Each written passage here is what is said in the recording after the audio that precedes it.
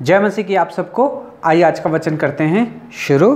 मत्ती की किताब चार अध्याय और उसका आठ और नौ आयत को मैं पढ़ूँगा। फिर शैतान उसे एक ऊँचे पहाड़ पर ले गया और सारे जगत और सारे राज्य उसको, वैभव को दिखाकर उससे कहा, यदि तू गिरकर मुझे प्रणाम करे तो मैं ये सब कुछ तुझको दे दूँगा। पढ़े गए वचन पे प्रभु आशीष करे, हमसे बात करे, हम सब की कमी घटियों को परमेश्वर इस वचन से पूरा करे, आइए हम प्रार्थना करते हैं।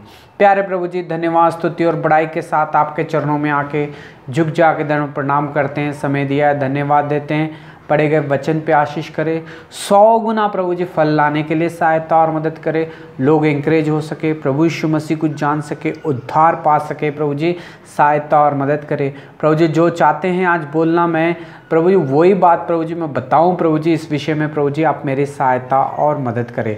आपके हाथों में सौंप देते हुए प्रार्थना विनती को प्रभु यीशु मसीह के नाम से मांगते हैं। आमीन। मत्ती का चार अध्याय हम बहुत दिनों से ध्यान कर रहे हैं। एक से लेकर ग्यारह तक हम ध्यान कर रहे हैं, लेकिन मेरे पास समय कम है, इसलिए मैंने उसकी एक और दो आयत को ही मैंने पढ़ा है। आप मत्ती का चार अध्याय एक से लेकर ग्यारह तक आप पढ़ सकते हो। हमने पढ़ा कि फिर शैतान उसे ऊँचे पर्वत पर ले गया और सारे जगत के राज्य को और वैभव को दिखाया। यहाँ पे हम देखते हैं कि प्रभु यीशु मसीह को शैतान एक ऊँचे पहाड़ के ऊपर ले गया और सारे जगत को दिखाता है, सारे राज्य को दिखाता है। इस दुनिया में क्या क्या चीज़ एक इंसान के लिए ज़रूरत है, वो सारी चीज़ को दिखाता है और कहता है, यदि तू मुझे प्रणाम करेगा तो ये सारी चीज़ों को मैं तुझे दे दूँगा। शैतान ये बात प्रभु यीशु मसीह से कह रहा है। प्रभु आपको बहुत सारी आशीष दे, इस वचन के द्वारा प्रभु आपसे बात करे। हम देख रहे थे कि प्रभु यीशु मसीह की परीक्षाओं के बारे में हम ध्यान करने वाले थे। ध्यान कर रहे थे बहुत दिनों से। परीक्षा जो है, हर एक इंसान के जीवन में आती है। लेकिन जब हर एक इंसान के जीवन में परीक्षा आती है, अगर वो प्रभु में है तो वो परीक्षा को जो है पास कर देगा। अगर वो प्रभु में नहीं है तो वो परीक्षा में जो है फेल हो जाएगा। लेकिन भाई और बहनों, हर एक विश्वासी के जीवन में जो है, परीक्षा होना बहुत ही ज़्यादा ज़रूरी है। जब परीक्षा हमारे जीवन में आती है तो इससे ये पता चलता है परीक्षा के समय में कि हम परमेश्वर के ऊपर कितना विश्वास करते हैं। हम वचन को कितना जानते हैं। अगर हम वचन को जानते हैं, परमेश्वर को जानते हैं तो जब परीक्षा आएगी तो उसमें हम स्थिर रहेंगे। अगर हम वचन को नहीं जानते हैं परमेश्वर का वचन हमारे अंदर नहीं है तो भाई और बहनों, जब परीक्षा आएगी तो भाई और बहनों, हम उसमें पास हो जाएँगे। अगर वचन को हम नहीं जानते हैं तो उस परीक्षा में जो है, हम फेल हो जाएँगे। हे भाई और बहनों, हर एक विश्वासी के जीवन में परीक्षा से ही पता चलता है कि हम परमेश्वर से कितना प्यार करते हैं। हे भाई और बहनों, हम देख रहे हैं कि प्रभु यीशु मसीह ने जब अपना सेवा का शुरुआत की, जब सेवा सुसमाचार सुनाने के लिए शुरुआत की बत्तीसवा लेने के बाद में तो तुरंत प्रभु यीशु मसीह चालीस दिन, चालीस रात तक उपवास कर रहे थे। ये उपवास इसलिए कर रहे थे ताकि सुसमाचार हर एक इंसान के जीवन में पहुँच सके। प्रभु यीशु मसीह जो काम के लिए इस दुनिया में आए थे कि वो अपने पिता की इच्छा को पूरा कर सके उसी इच्छा को पूरा करने के लिए प्रभु यीशु मसीह ने 40 दिन 40 रात तक उपवास रखा। हे भाई और बहनों, मगर जब 40 दिन 40 रात तक उपवास रखा प्रभु यीशु मसीह ने तो जब उपवास जो रखा था प्रभु यीशु मसीह ने, वो ऐसे आसानी बहुत ही आसान नहीं था ये उपवास, बहुत ही ज़्यादा कठिन उपवास था। क्योंकि शैतान जो है प्रभु यीशु मसीह को आके डिस्टर्ब करने लग गया। प्रभु यीशु मसीह को बातों में फंसाने लग गया। वचन वचन बोल के, वचन की बातों को लेके प्रभु यीशु मसीह की परीक्षा करने लग गया। है भाई और बहनों, हम ये भी सोचते हैं कि हमारे जीवन में शायद परीक्षा नहीं आएगी क्योंकि हम प्रभु यीशु मसीह को जान गए हैं। प्रभु यीशु मसीह हमारे साथ है बदतुस्मा ले लिया है और हम मंडली में पहुँच चुके हैं। लेकिन भाई और बहनों, जब हम मंडली में पहुँच जाते हैं, प्रभु यीशु मसीह के नाम से बदतुस्मा लेते हैं, जब उसके लिए जीना शुरू कर देते हैं तो भाई और बहनों, हर एक विश्वासी के जीवन में जो है, शैतान आता है उसकी परीक्षा करने के लिए, ताकि वो विश्वास में फेल हो जाए और वो उसे नरक में लेके चले जाए। हे भाई और बहनों, लेकिन हमारे प्रभु यीशु मसीह हमसे इतना प्यार करते हैं, वो इसलिए हमारी परीक्षा करते हैं ताकि हम जो है, उस परीक्षा में पास हो जाएँ और उसके साथ सदा सदा के लिए राज्य करें। हे भाई और बहनों, हम यहाँ पे तीसरी परीक्षा के बारे में देख रहे हैं। यहाँ पे तीसरी परीक्षा है शैतान ऊँचे पर्वत पर ले गया यीशु को और सारे राज्य और सारे वैभव को दिखाया। यानी कि प्रभु यीशु मसीह को शैतान जो है, एक ऊँचे पहाड़ के ऊपर ले गया और वहाँ जाके सारे राज्य को दिखा रहा है, सारी चीज़ों को दिखा रहा है, वैभव को दिखा रहा है, ताकि प्रभु यीशु मसीह कह रहा है कि देख, संसार में कितने सारी चीज़ें हैं, इन सबको देख सुख, अभिलाषा, सारिया चीजा हैं इसमें। ये सारे जो सारे, मैं तुझे दे दूँगा अगर तू मुझे प्रणाम करेगा। हे भाई और बहनों, आपके और मेरे जीवन में भी शैतान इसी रीति से काम करता है। शैतान जो है आके हमको धमकी नहीं देगा। मैं तुझे मार दूँगा, मैं तुझे नुकसान कर दूँगा, वो ये कर दूँगा, शैतान। कभी किसी के पास आके ये नहीं कहेगा कि मैं तेरा नुकसान कर दूँगा। हे भाई और बहनों, मगर ज़ाहिर सी बात ये है, अगर हम शैतान को पीछा करेंगे, उसको फॉलो करेंगे तो भाई और बहनों, वाकई में वो हमें धोखा ही देगा।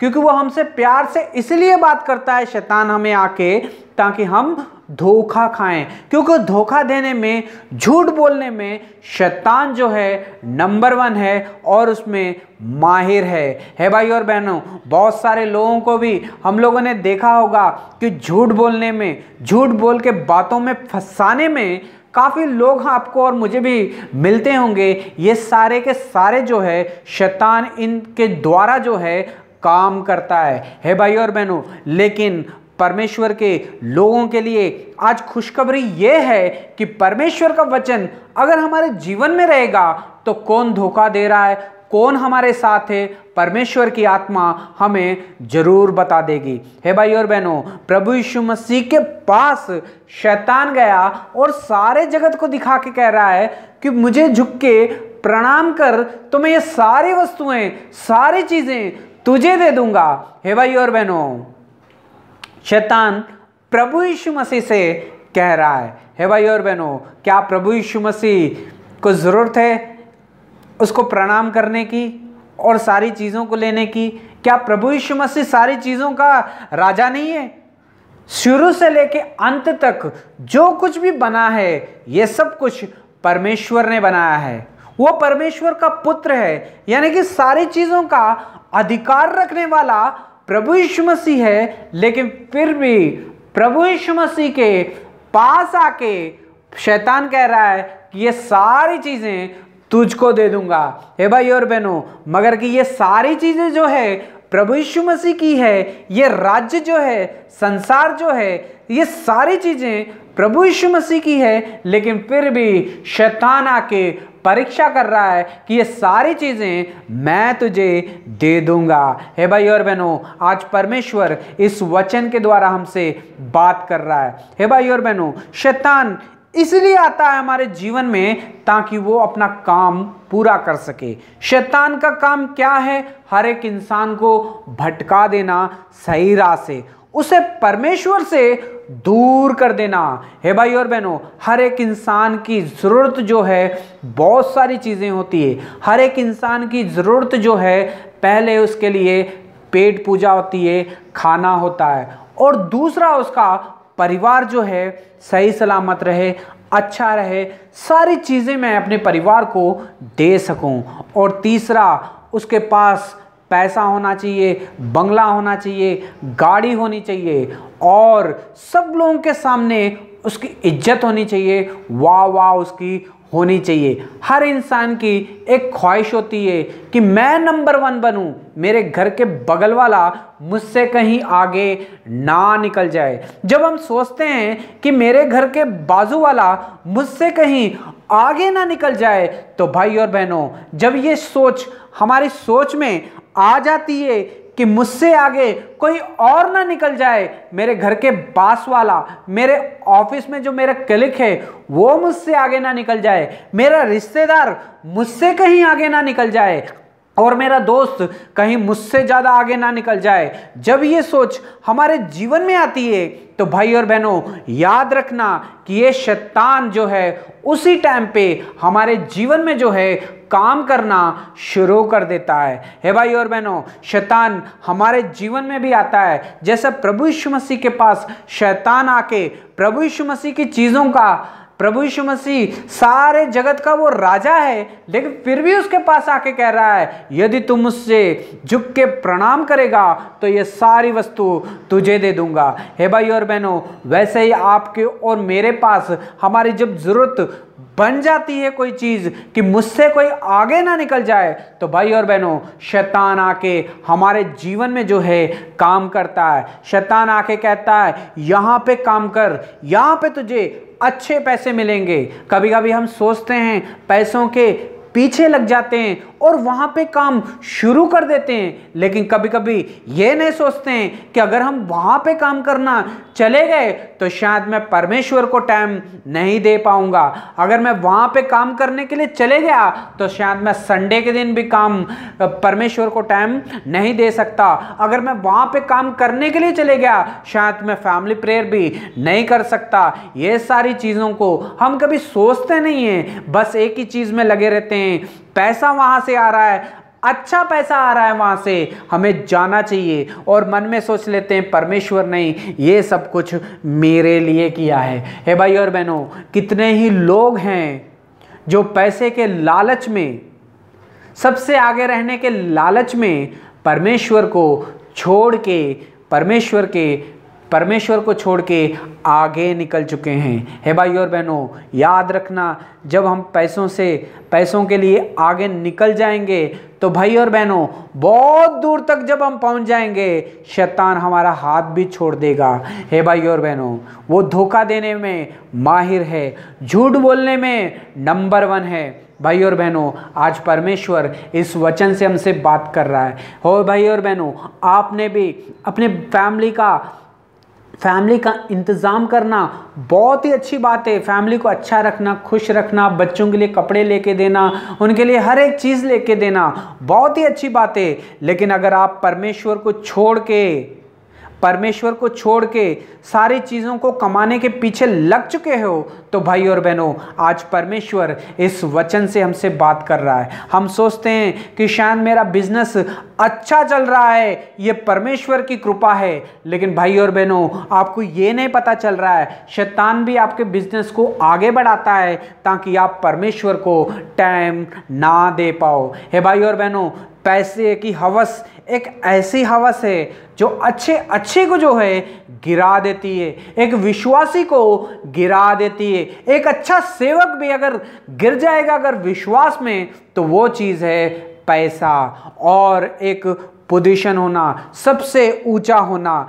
हम सोचते हैं कि सबसे ऊँचा पद जो मिलना बहुत ही अच्छी बात है, लेकिन जो सबसे ऊँचा पद होता है, जब कभी हमें मिलता है तो भाई और बहनों, शैतान उसमें भी काम करता है कभी कभी है भाई और बहनों, ऊँचा पद अगर आपको मिला है तो क्या वो उससे आपकी परमेश्वर की महिमा हो रही है? या तो शैतान आपको परमेश्वर से दूर कर दिया है? हे भाई और बहनों, आज परीक्षा का टाइम है, आज परीक्षा की घड़ी है। आप कहाँ पे चले गए हो? परमेश्वर को छोड़ के, कमाने के चक्कर में, अपने घर संसार को को आगे लेके जाने के चक्कर में, नंबर वन बनने के चक्कर में, अगर आप परमेश्वर को कहीं छोड़ के आगे बढ़ गए हो तो भाई और बहनों, आज परमेश्वर इस वचन से हमसे बात कर रहा है। शैतान प्रभु यीशु मसीह के पास आता है और उसे सारे जगत को दिखा के कहता है, अगर झुक के मुझे प्रणाम करेगा तो ये सारी चीज़ें मैं तुझे दे दूँगा। हे भाई और बहनों, परमेश्वर के लोगों को किसी के सामने झुकने की ज़रूरत नहीं है। परमेश्वर के बच्चों को परमेश्वर से ज़्यादा जो है, पैसों से भी ज़्यादा जो समय जो है, हमें परमेश्वर को देना है। हे भाई और बहनों, क्या आप परमेश्वर को छोड़ के कमाने के चक्कर में आप परमेश्वर को अगर टाइम नहीं दे पा रहे हो, अपनी फैमिली को टाइम नहीं दे पा रहे हो फैमिली प्रेयर में अगर टाइम नहीं दे पा रहे हो, कमाने के चक्कर में, आगे रहने के चक्कर में तो भाई और बहनों,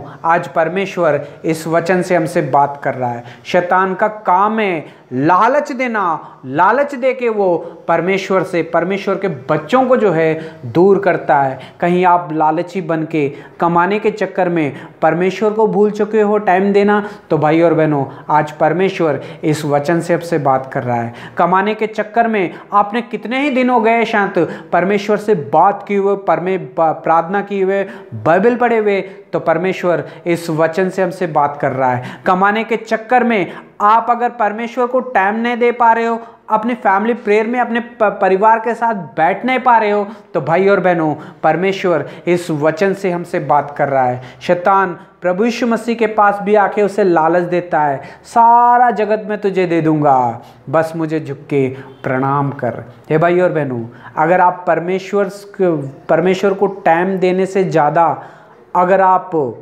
पैसों में हो, आगे बढ़ने में हो तो भाई और बहनों, इसका मतलब है कि आपने शैतान को झुक के प्रणाम कर दिया है। हे भाई और बहनों, अगर हम परमेश्वर को प्रणाम करेंगे, परमेश्वर को समय देंगे तो परमेश्वर कहता है कि जो मांगोगे, वो मैं तुम्हें दूँगा। तुम्हारी सारी कमी घटियों को मैं पूरा करूँगा। वचन में लिखा है, प्रभु यीशु मसीह से जवाब देते हैं। तब यीशु ने उससे कहा, है शैतान, दूर हो जा। लिखा है कि तू अपने परमेश्वर को छोड़ किसी को प्रणाम ना करना। सिर्फ़ अपने परमेश्वर को छोड़ के अगर कोई भी चीज़ आपके जीवन में आती है आपको परमेश्वर से दूर करने वाली।